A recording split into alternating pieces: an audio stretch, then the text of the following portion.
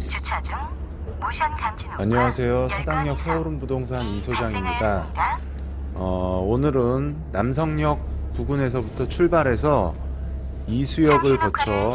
사당역까지 가면서 이 부근 지역과 아파트 등에 대해서 설명을 좀 드리겠습니다. 어, 아주 구체적이고 세부적인 게 아니고 대로를 따라서 달리면서 러프하게 좀 설명을 드려볼까 합니다. 어, 제가 지금 달리고 있는 도로가 사당로인데요. 어, 편도 2차선 도로입니다. 평소에 도로폭이 좁아서 병목 현상이 좀 일어나기도 하고 사고가 많이 나는 도로이기도 합니다. 그래서 현재는 남성역 인근에서 도로 확장 공사를 하고 있습니다. 어, 여기 도로 왼편에 보이는 우뚝 솟아있는 건물이 바로 남성역 두산 위브 트레지움 아파트이고요. 어, 현재 사당동에서 가장 인기 있는 아파트 단지 중에 하나라고 할 수 있습니다. 어, 남성역 바로 코앞인데다가 2011년 준공 완료된 어, 신축급 아파트인데요. 총 4개 동이고 428세대입니다. 왼쪽에 보이시는 건물이고 지금 지나갔고요. 현재 30평대 매매 시세가 13억에서 14억 정도 합니다. 오른쪽 편은 남성역 도로 확장 공사 구간이고요. 남성역을 지나면서는 도로가 좀 넓어지죠. 이 도로가 이수역 내방역을 지나서 서리풀 터널까지 쭉 이어지는데요. 서리풀 터널 개통으로 인해서 교통량이 증가하면서 남성역 사당로 구간의 도로를 확장하게 된 것입니다. 어, 남성역과 이수역 사이에는 도로가와 가까운 아파트 단지는 별로 없어요. 어, 오른편은 사당동 빌라촌이 밀집되어 있는 곳이고 왼쪽 편이 사당동 아파트 단지가 많이 있는 곳이긴 한데 대로변에서 조금 안쪽으로 들어가야 됩니다. 어, 그나마 도로변에서 가장 가까운 아파트 단지가 대림 아파트라고 하는 아파트인데 어, 대림 아파트 중에서도 아주 일부 동의 경우에만 대로변과 좀 가까운 편이고요. 그리고 대림 아파트는 재건축 얘기가 나올 정도로 연식이 좀 된 아파트입니다. 지금 이 도로가 남성역에서 이수역 이 사이에 있는 도로입니다.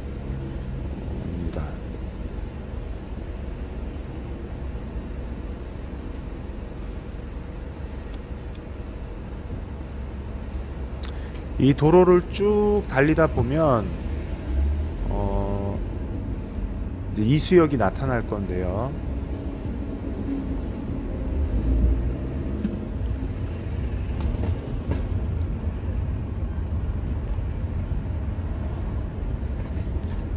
저 앞에 멀리 보이는 저 높은 건물, 저 건물이 바로 이수자이 주상복합 아파트입니다. 어, 이수역하고 연결되어 있고요. 이수자이 주상복합 아파트는 방배 SK 리더스뷰가 사당역하고 연결되어 있는 것처럼 이수자이 주상복합 아파트는 이수역하고 바로 연결이 되어 있습니다. 37평형부터 63평형까지 주로 중대형 평수로 이루어져 있고요. 두 개 동이고 140세대로 이루어져 있습니다. 주상복합 아파트니까 어, 주거 공간을 제외하고 아래층에는 다양한 상가들로 이루어져 있고 주변에 편의시설하고 교통이 아주 편리한 게 장점이죠. 여기서 가장 최근에 거래된 물건이 어, 49평형이 12억 500에 거래된 게 최근 기록입니다. 그리고 저 이수자이보다 더 저쪽 건너편에 보이는 저 방배동 쪽에 지금 정면으로 보이는 건물들이 방배동에 있는 주상복합 아파트 디오 슈페리움이라고 하는데요. 디오 슈페리움 역시 주상복합 아파트로 1차, 2차 각각 한 동씩 있습니다. 여기서 쭉 가면 내방역이고요. 여기서 이제 우회전 하면 음, 사당역 쪽으로 이어지게 되어 있고요. 이수교차로에서 아까 직진을 했을 경우에는 서리풀 터널만 지나면 바로 강남으로 통하게 됩니다. 어, 서리풀 터널이 개통되기 전에는 내방역 지나서 길이 이 끊겨 있었는데요.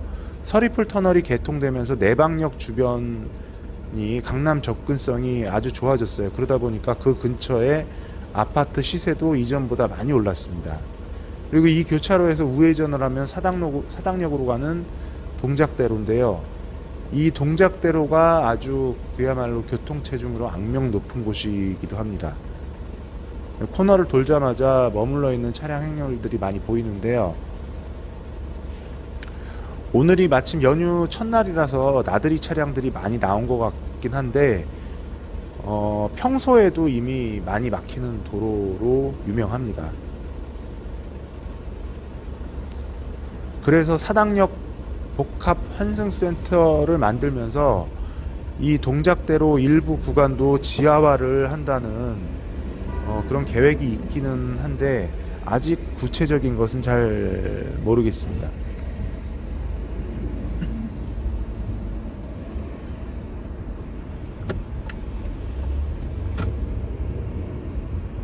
이 도로를 기점으로 지금 보이시면 왼쪽이 방배동이고요.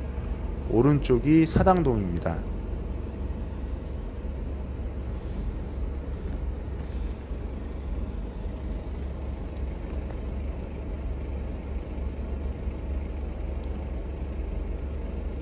굉장히 막힙니다. 이 사당역하고 이수역 부근에는 그 대중교통 이용하시는 분들한테는 아주 좋은 지역인데 자차 운전하시는 분들에게는 반대 교통 지옥이라고 할 정도로 아주 힘든 구간이죠.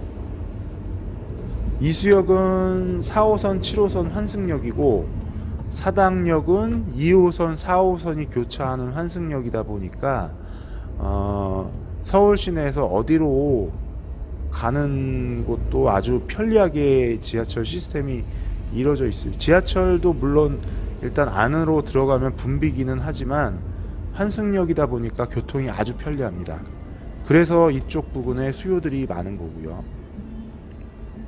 하지만 이 반면 지상 도로 사정은 지금 보시는 바와 같이 어, 엄청나게 막혀요. 이수역에서 사당역까지 지하철로 한 정거장이니까 한 2분 정도 지하철로는 이동이 가능하다고 본다면 승용차로 이동하는 경우 이렇게 막히는 경우에는 적어도 한 아무리 적어도 한 10분 이상 어떨 때는 10분 요 한정거장 거리 가기 위해서 10분에서 20분 정도까지 걸리는 경우도 있습니다. 저 건너편에 보이는 저, 저 건물 높은 건물 보이시죠? 저 끝에 보이는 그 위에 비행 접시처럼 되어 있는 저 건물이 SK 리더스 뷰입니다. 방배 SK 리더스 뷰.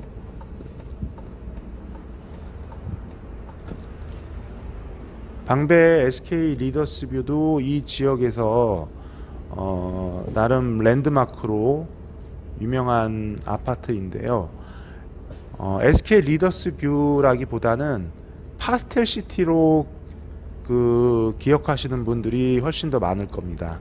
주상복합 아파트인데 파스텔 시티는 지하 2층부터 6층까지 뭐 거의 모든 백화점에 있는 시설들과 같이 뭐 음식점, 서점, 의류 매장 이렇게 복합 쇼핑몰로 이루어져 있어서 사당역의 아주 대표적인 명소이기도 합니다.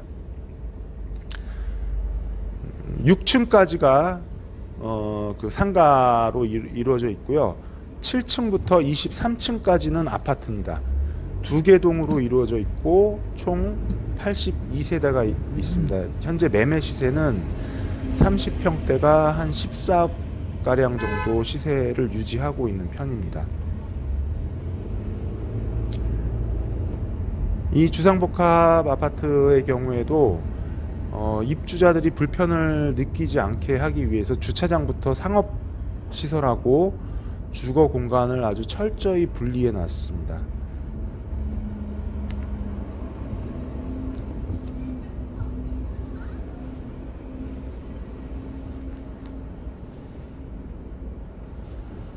이 동작대로는 버스 전용, 전용 차로가 있기 때문에 버스를 이용하시는 분들도 어, 승용차보다는 이동이 조금 더 수월하다고 볼 수가 있습니다.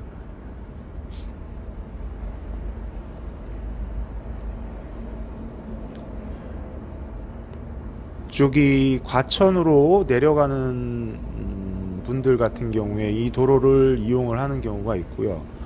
오늘 같은 경, 경우는 연휴라서 그런지 모르겠는데 아마 이 사당역 사거리에서 좌회전을 하게 되면 경부 고속도로를 타는 그 길이 있습니다. 그쪽으로 가시는 분들도 많을 거고요.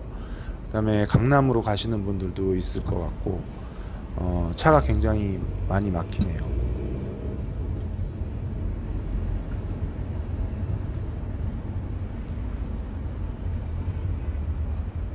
이제 SK 리더스 뷰가 왼편에 보입니다.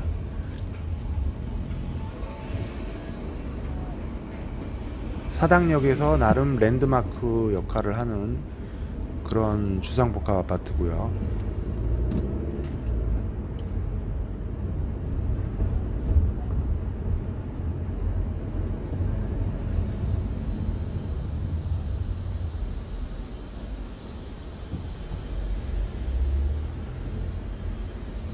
이렇게 막힐 때는 저는 어떨 때는 오른쪽 골목으로 들어가서 그 사당동 빌라촌 그쪽 골목을 통과해서 이동을 하는 경우도 있습니다. 차가 워낙에 막히다 보니까요.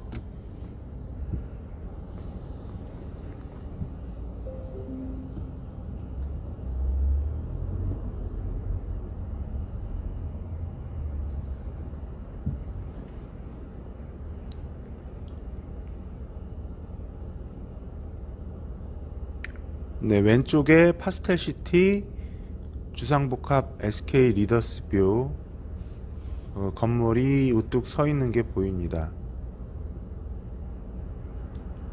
저 멀리는 관악산도 보이는 것 같고요.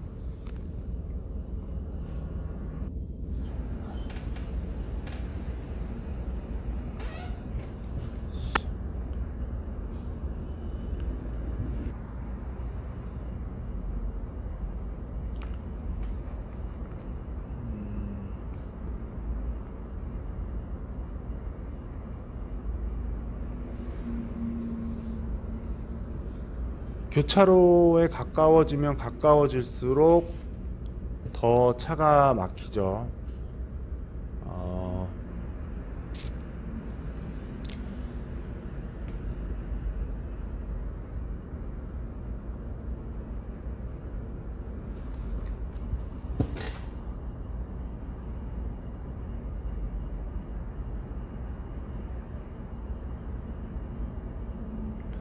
저 방배 SK 리더스뷰 맞은편에 그 왼쪽으로 살짝 보이는 아파트가 방배 우성 아파트입니다. 어, 방배 우성 아파트도 아주 유명한 아파트이기 때문에 어, 많은 분들이 아시겠지만 이 사거리를 건너면 바로 왼쪽에 사당역 바로 인접한 곳에 방배 우성 아파트가 있습니다. 방배 우성 아파트 같은 경우에 요즘 다시 재건축 동의서를 입주민들한테 받고 있다고는 하는데 요즘 같은 분위기에 쉽지는 않을 것 같기도 하고요. 음, 우성 아파트 같은 경우에도 현재 매물이 많이 없는 편입니다.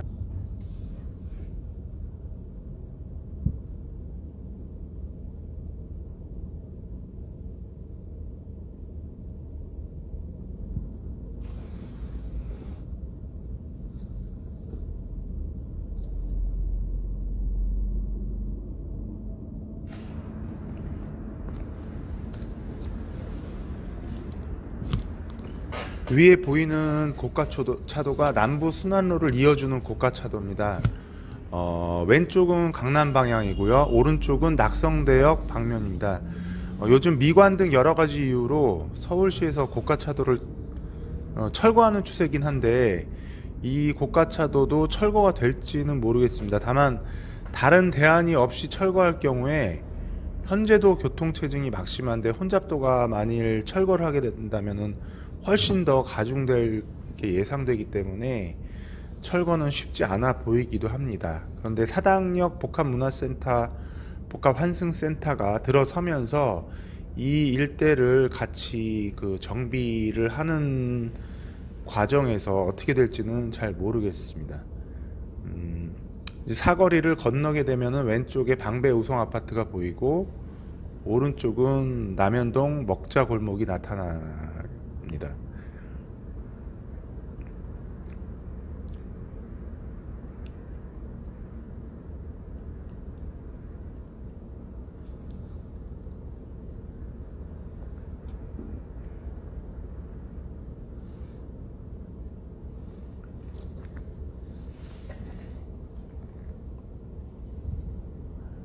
엄청 막히네요.